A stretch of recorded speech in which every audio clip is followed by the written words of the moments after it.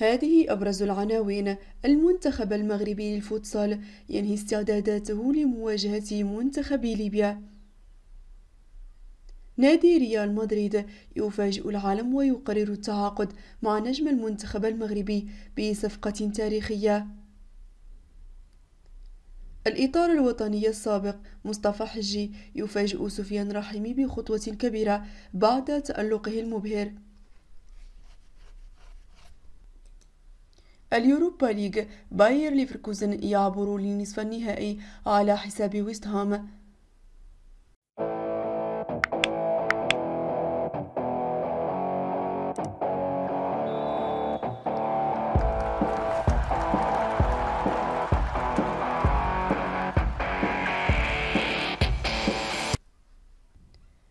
اختتم المنتخب المغربي لكرة القدم داخل القاعة تحضيراته لمواجهة ليبيا المرتقبة اليوم الجمعة برسم نصف نهائي كأس إفريقيا التي تحتضنها المغرب. ووضع الناخب الوطني هشام تكيك آخر اللمسات البدنية والتكتيكية خلال الحصة التدريبية لنهار يوم أمس. والتي أقيمت بمركب محمد السادس لكرة القدم. وفي نفس السياق قال أنس العيان في تصريح للقناة الرسمية للجامعة الملكية المغربية لكرة القدم. إن العناصر الوطنية جاهزة لهذا التحدي رغم صعوبة الخصم الليبي الذي يبلي البلاء الحسن في هذه البطولة. وأوضح العيان أن هذه المباراة هي الأهم في هذه البطولة ومن الواجب التركيز بشكل جيد لأنها ستكون صعبة بالنظر لقوة المنافس. من جهته يتوقع اللاعب سفيان بوريط أن تكون هذه المواجهة صعبة لأنها ستخول التأهل إلى نهائيات كأس العالم القادمة. وأكد بوريط أن ليبيا تتوفر على منتخب محترم ولاعبين جيدين والفريق الوطني درس نقاط قوته وضعفه طيلة فترة الاستعدادات من أجل تحقيق نتيجة التأهل إلى نهائي والبلوغ المونديال. وأشار المتحدث نفسه أن الجماهير المغربية ستشكل قوة للاعبين وحافزا كبيرا للمجموعة متمنيا أن يتمكن المنتخب من إسعادهم ومنحهم فرصة جديدة بحضور النهائي. وتأهل منتخب الفوتسال إلى نصف نهائي كأس إفريقيا كمتصدر للمجموعة الأولى برصيد تسع نقاط جمعها من ثلاث انتصارات على حساب أنغولا وغانا وزامبيا. وتجرى مباراة المغرب وليبيا اليوم الجمعة انطلاقا من الساعة الثامنة ليلا.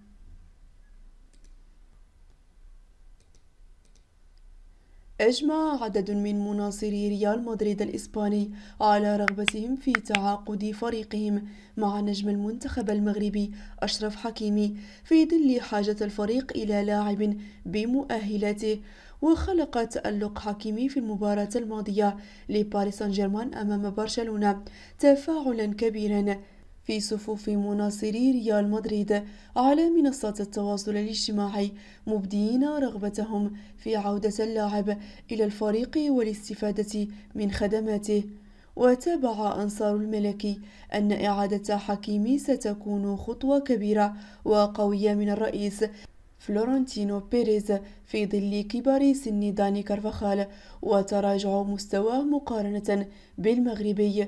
وأشار المتفاعلون إلى أن المغربي سيشكل ثنائية قوية مع اللاعب كليان بابي إن تأكد قدوم الأخير إلى ريال مدريد إلى جانب درايته الكبيرة بفريقه الأم.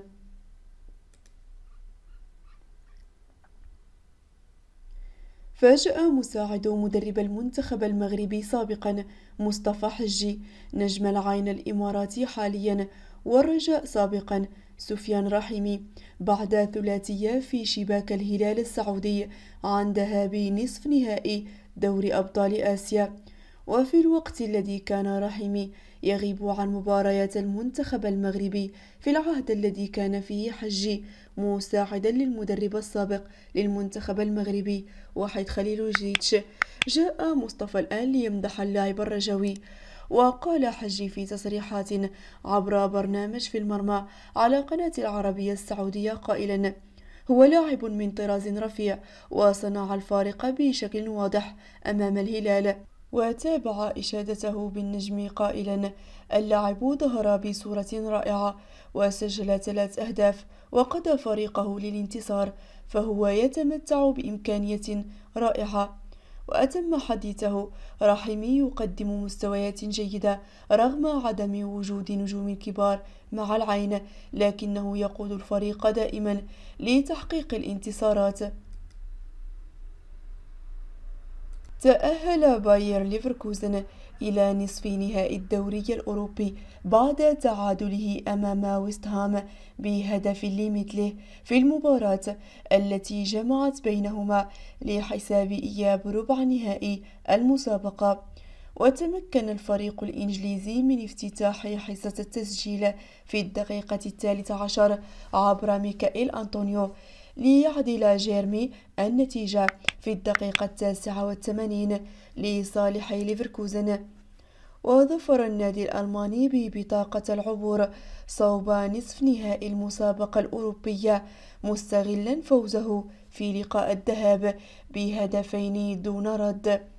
وعرفت المباراة حضورا رسميا لنايف أكرد من جانب ويست هام في حين دخل أمين عدلي كاحتياطي من جانب باير ليفركوزن في الدقيقة الثامنة والستين ولم يقل مدافع المغربي على إكمال المواجهة بسبب الإصابة ليغادر في الدقيقة السادسة والأربعين تاركا مكانه لزميله أنجيلو أوكبونا. قررت محكمة جنحي مدينة نصر تأجيل جلسة الحسين الشحات لاعب الأهلي في قضية اتهامه بالتعدي على محمد الشيبي لاعب بيراميدز. وعلمت البطولة أن المحكمة رفضت طلب دفاع الشحات بالاستماع إلى بعض الشهود من بينهم لاعبين من نادي الأهلي المصري. وناقشت هيئة محكمة جنح مدينة نصر كل حيثية الملف وأشرطة الفيديو المقدمة من دفاع محمد الشيبي في الوقت الذي طالب فيه دفاع اللاعب حسين الشحات بالاستماع إلى بعض الشهود من بينهم لاعبي النادي الأهلي. وقررت الهيئة السالفة الذكر أن حسين الشحات متهم في القضية كونه مواطنا ولا علاقة له بالأهلي المصري. وقررت هيئة المحكمة كذلك تأجيل الجلسة إلى يوم التاسع من الشهر القادم من أجل استكمال الملف والنطق بالحكم.